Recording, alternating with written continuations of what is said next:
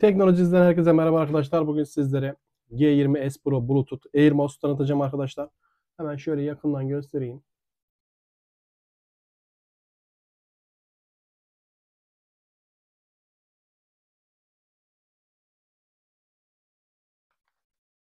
Şöyle iki adet kalem pille çalışıyor arkadaşlar. Özelliklerine gelecek olursak arkadaşlar USB 2.4 e, dongle ile çalışıyor. Şöyle dangle'ımızı da göstereyim arkadaşlar. Bluetooth özellikli, Air Mouse özellikli arkadaşlar. Tuş aydınlatmalı. Sesli kontrol yapabiliyoruz. TV Box PC Smart TV ile uyumlu arkadaşlar. 10 metre kullanım aralığı bulunuyor. 55 gram ağırlığı bulunuyor arkadaşlar. 6 eksenli jiroskop bulunuyor. 3 gyro 3 de sensör arkadaşlar. Air Mouse'un 3 farklı imleç seviyesi bulunuyor. Hızlı ve yavaş bir şekilde kullanabiliyorsunuz. Bu şekilde arkadaşlar. Hadi hemen kullanmaya başlayalım. Evet arkadaşlar USB dongle'ımızı hemen TV Box'ımıza bağlayalım. Şu şekilde hemen kullanmaya başladık arkadaşlar. Gördüğünüz gibi. Şöyle mouse modu bulunuyor arkadaşlar. Air mouse modu. Bunu da kullanmak için başlıyoruz tuşumuza. Bu şekilde kullanabiliyoruz. İmleç modunu e, seviyesini düşürüp yükseltebiliyoruz. Yani yavaşlatabiliyoruz. Bunun için de arkadaşlar şöyle OK tuşuna basılı tutup ses kısma tuşuna basıyoruz. Bu şekilde imlecimiz yavaşlıyor. Gördüğünüz gibi bayağı yavaşladı. 3 farklı seviye bulunuyor arkadaşlar. Bunun için artı eksiye göre kendiniz ayarlayabilirsiniz. Şu an bayağı yavaş ve yükseltelim şöyle. Evet bu şekilde yükseldi. Bunu da böyle şey, bu şekilde kullanabiliriz. Hemen bir tarayıcı açalım arkadaşlar. Tarayıcımızdan şöyle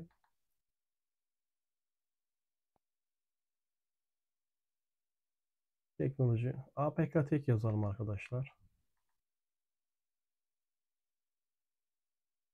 Şöyle Google'da ara diyelim.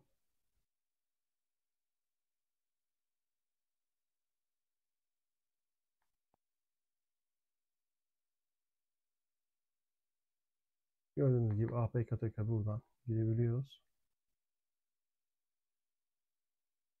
Bu şekilde kullanabiliyoruz arkadaşlar. Çıkalım buradan. Buradan çıkış yapalım. Bunun dışında arkadaşlar modlar arasında geçiş var. Bunda hani bulut kullanırken e, öğrenmenizi istiyorum. Çünkü Bluetooth'a bağlandıktan sonra tekrardan USB dongle'a bağlandığınızda çalışmayabiliyor arkadaşlar. Bunun için de OK ve geri tuşunu tekrar modlar arası geçişi ayarlamanız lazım. Şimdi Bluetooth'la bağlayacağım arkadaşlar. Bunun için USB dongle'ı söküyorum. İkisi aynı anda çalışmıyor çünkü. Şöyle Bluetooth modunu almak için OK tuşu ve geri tuşumuza basılı tutuyoruz. Dediğimiz sabit yanıp sönmeye başlıyor. Bakayım evet. Hemen kumandamızdan uzaktan kumandalara cihaz aksesuar ekle diyelim. Evet G, G20S Pro dedi. Hemen OK diyelim. Evet, eşleştirmemizi şimdi sağlayacak.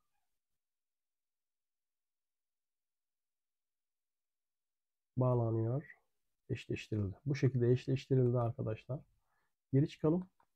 Tekrar bağlandığımız GS20'ye geldiğimizde arkadaşlar pil seviyesini de görebiliyoruz. Gördüğünüz gibi %61 pil seviyesi bulunuyor.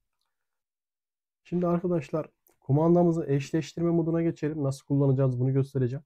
Kumandamızı, iki kumandamızdan TV kumandamızı ve kendi kumandamızı eşleştirmesini nasıl yaparız? Güç tuşu ile ses tuşlarını kontrol edebiliyoruz. Bunun için power tuşuna basılı tutuyoruz arkadaşlar.